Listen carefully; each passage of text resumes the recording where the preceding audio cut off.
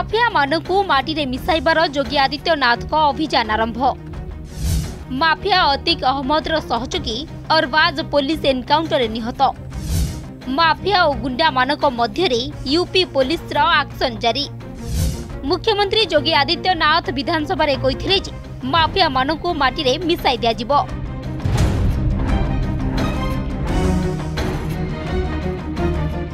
पुणि action मोड्रे Yogi police Yogi Adityanath Uttar Pradesh विधानसभा mafia मान को मटी मिसाई दिजावी कहर एवं से ही दिगरे कार्यानुषान आरंभ कर उत्तर प्रदेश में प्रयागराज में उमेश पाल हत्याकांड मामलें अभुक्त अरवाज सहित यूपी पुलिस एनकाउंटर होनकाउंटर अरवाज आहत हो डाक्तखाना अणा बेले बाटर तार मृत्यु घटी उमेश पाल हत्याकांड मामलें जो सुटर मैंने उमेश को मार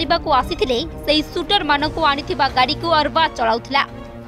हत्याकारी सुटर मान एक क्रेटा गाड़ी में आसी क्रेटा को अरबा चलाउा सूचना मिलता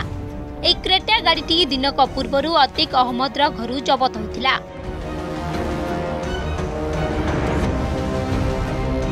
विजेपी विधायक सल्लभ मणि त्रिपाठी एनकाउंटर को नहीं ट्विट कर मटी में मिसाइबार अभान आरंभ উমেশ পাল্ড হত্যাকারী অরবাজ পুলিশ এনকাউন্টরে নিহত জয় হো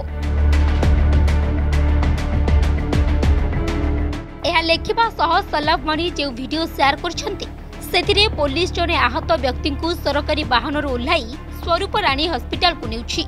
ଆହତ ବ୍ୟକ୍ତିର ନାମ ଅରବାଜ ତାକୁ ଡାକ୍ତରମାନେ ମୃତ ଘୋଷଣା କରିଥିଲେ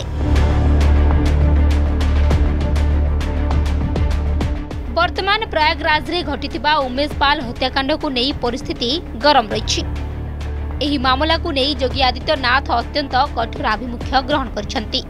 ବିଧାନସଭାରେ ଯୋଗୀ ଆଦିତ୍ୟନାଥ ଏହି ପ୍ରସଙ୍ଗ ଉଠାଇ ସ୍ପଷ୍ଟ ଭାବେ କହିଥିଲେ ଯେ ମାଫିଆମାନଙ୍କୁ ସମ୍ପୂର୍ଣ୍ଣ ଧୂଳିସାତ କରି ଦିଆଯିବ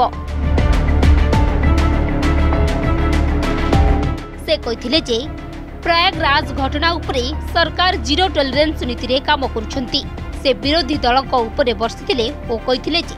ଅପରାଧୀ ଓ ମାଫିଆମାନଙ୍କୁ କିଏ ପ୍ରୋତ୍ସାହନ ଦେଉଛି ସମାଜବାଦୀ ପାର୍ଟି ଏଭଳି ମାଫିଆମାନଙ୍କୁ ଫୁଲମାଳ ଦେଇ ମହିମା ମଣ୍ଡନ କରିଆସୁଛି ଅନ୍ୟପକ୍ଷରେ ଉପମୁଖ୍ୟମନ୍ତ୍ରୀ ଗଣମାଧ୍ୟମ ପ୍ରତିନିଧିଙ୍କୁ କହିଥିଲେ ଯେ ଏହି ମାମଲାର ଯାଞ୍ଚ ଚାଲିଛି